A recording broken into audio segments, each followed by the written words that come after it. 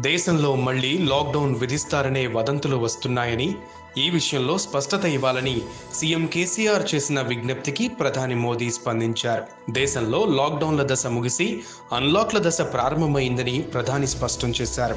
దీన్ని బట్టి దేశంలో మరోమారు లాక్డౌన్ విధించే అవకాశం లేదని స్పష్టంగా మోదీ చెప్పినట్లు అర్థమవుతోంది. మోదీ కేసీఆర్తో వీడియో కాన్ఫరెన్స్ ద్వారా మాట్లాడారు. ఈ సందర్భంగా కరోనా కట్టడికి కృషి చేస్తున్నామని కేసీఆర్ ప్రధానికి తెలిపారు.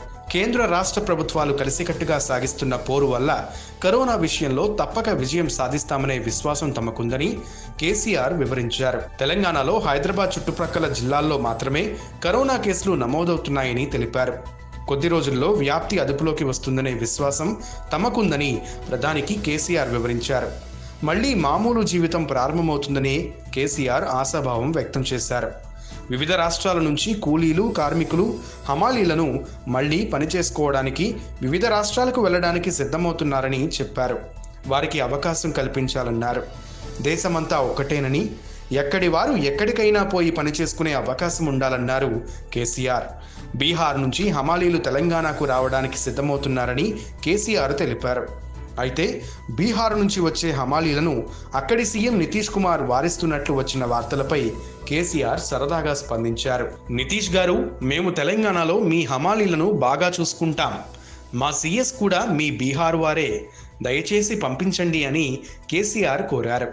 మరోపక్క ముఖ్యమంత్రుల సమావేశంలో సరైన సమయంలో సరైన నిర్ణయాలు తీసుకోవడం వల్లే కరోనా వ్యాప్తిని తగ్గించగలిగామని ప్రధానమంత్రి నరేంద్ర మోదీ వ్యాఖ్యానించారు. ప్రస్తుతం ఆసుపత్రుల్లో ఉన్న కరోనా రోగుల కంటే కరోనా బారిన పడి కోలుకున్న వారి సంఖ్య ఎక్కువగా ఉందని ఆయన వెల్లడించారు.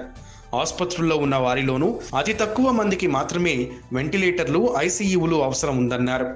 సరైన సమయంలో సరైన నిర్ణయాలు తీసుకోవడం వల్లనే కరోనాపై పోరాటం చేయగలిగామని కరోనా వ్యాప్తిని సాధ్యమైనంత మేరకు తగ్గించగలిగామని వివరించారు. సరిగ్గా మూడు నెలల క్రితం ప్రపంచవ్యాప్తంగా పీపీఈ కిట్లకు లోటు ఉండేదని మోదీ అన్నారు. ఆ సమయానికి భారత్లో కూడా చాలా తక్కువ పీపీఈ కిట్లు ఉన్నాయన్నారు. అప్పటికి మనం విదేశాల నుంచి దిగుమతి చేసుకోవడంపైనే ఆధారపడ్డామని వివరించారు. కానీ ప్రస్తుతం మన వద్ద కోటికి పైగా పీపీఈ కిట్లు ఉన్నాయని తెలిపారు. అదే సంఖ్యలో ఎన్ నైంటీ ఫైవ్ మాస్కులు కూడా ఉన్నాయని వాటిని అన్ని రాష్ట్రాలకు పంపించామన్నారు. ప్రస్తుతం కరోనా బారిన పడుతున్న వారి సంఖ్య ఎక్కువగా ఉంటోందని వాపోయారు. ఆసుపత్రుల్లో సదుపాయాలను పెంచి వైద్య విధానాలను మెరుగుపరచడమే మన ముందున్న ఏకైక మార్గమన్నారు మోదీ.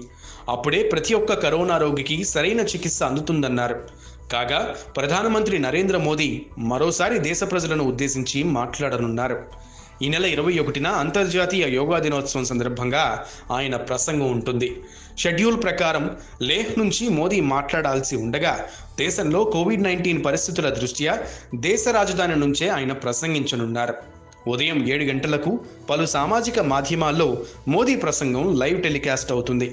గత ఏడాది అంతర్జాతీయ యోగా దినోత్సవం సందర్భంగా జరిగిన మెగా ఈవెంట్లో ప్రధాని మోదీ ముఖ్య అతిథిగా పాల్గొన్నారు. రాంచీలో ఈ కార్యక్రమం జరిగింది. తాజాగా వాస్తవాధీన రేఖ వెంబడి చైనాతో తలెత్తిన ఉద్రిక్త పరిస్థితులు ఘర్షణలపైన అలాగే కోవిడ్ నైన్టీన్ విసురుతున్న సవాళ్ళపైన ఈసారి యోగా దినోత్సవంలో ప్రధాని మోదీ మాట్లాడే అవకాశాలున్నాయని విశ్వసనీయ వర్గాల సమాచారం.